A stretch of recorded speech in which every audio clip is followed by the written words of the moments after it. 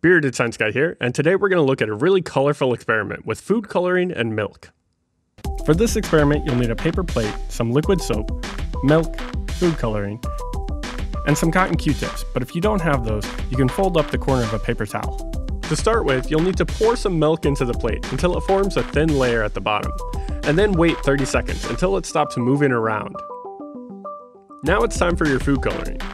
Carefully hold the food coloring really close to the surface of the milk, and then add a few drops.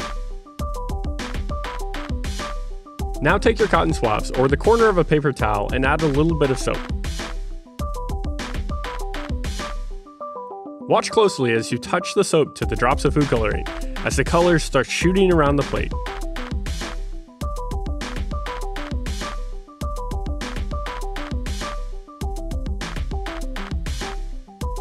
Now here comes the tricky part.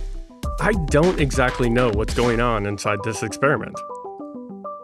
I know it has something to do with the charges on the molecules attracting each other in such a way to cause this macroscopic movement of the food coloring across the surface of the milk.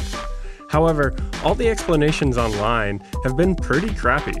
Even the American Chemical Society gives kind of a half explanation that doesn't actually go into detail about what's happening.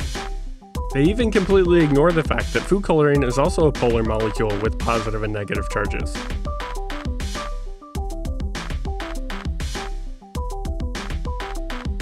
The best explanation I've seen involves micelles forming around the fat particles within the milk. The outsides of these micelles are attracted to the food coloring particles, and because they're less dense than the milk itself, they travel across the surface, dragging along food coloring particles as they go. Now what I'm not sure about is what causes them to move at such speed across the surface of the milk.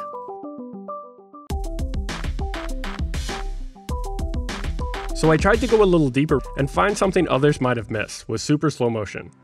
It looks really cool, but I didn't pick up on anything that helped me understand the experiment. If you have any ideas about what might be happening, post them in the comments and let me know, and enjoy some of this super slow motion video footage I took.